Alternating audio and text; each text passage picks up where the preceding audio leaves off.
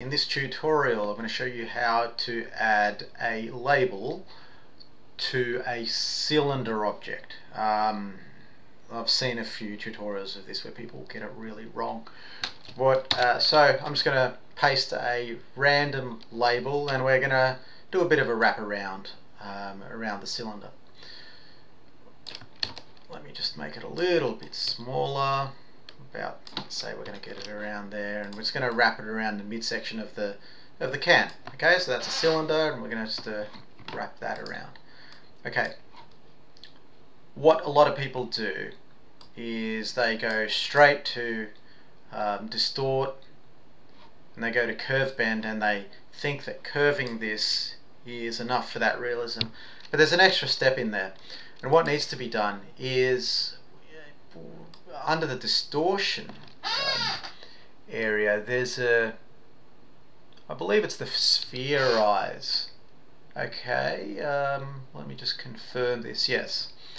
So the, the the name's a bit misleading because spherize allows you to do cylinders as well. So you can do uh, vertical um, or even horizontal, right?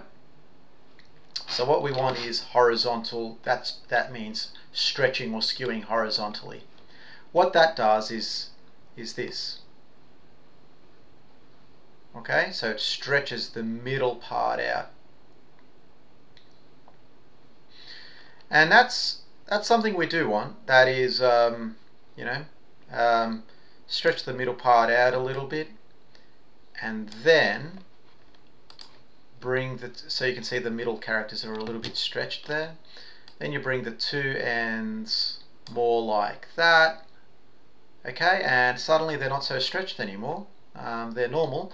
However, these on the extremities, you can see the text there, is quite compressed, as it would be on this angle. So that's the first step you do. Then you go to um, distort and um, bend. So we want to bend at the same angle that the can is bent at.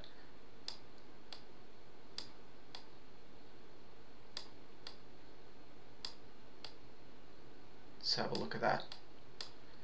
Uh, preview.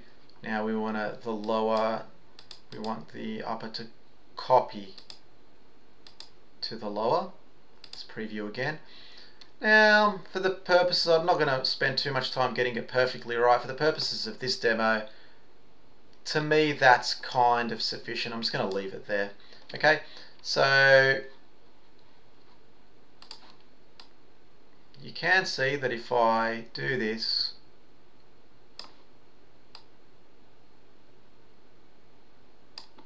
do that. Okay, that has wrapped it around the text here is compressed on the on the left hand side. The text is compressed here on both the left and the right hand side and it's quite normal in the middle.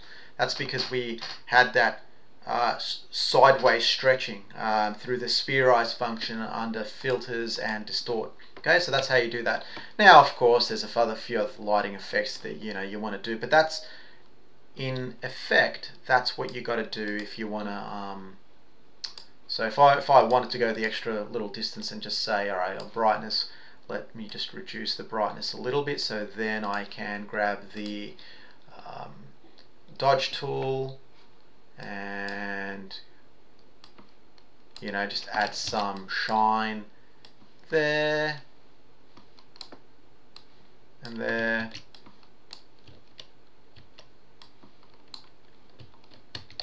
So you see what I'm what I'm getting at here. So some shine there. Where else have we got a little bit of shine? Um, let's say some shine here and here.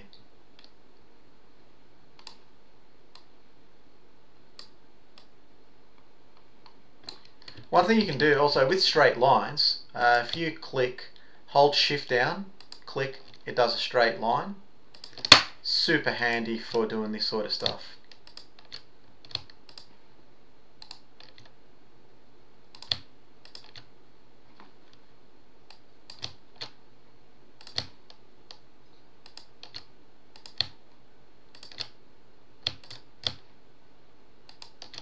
Like that.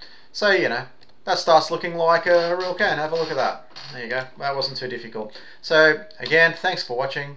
Uh, any questions, please leave me a comment.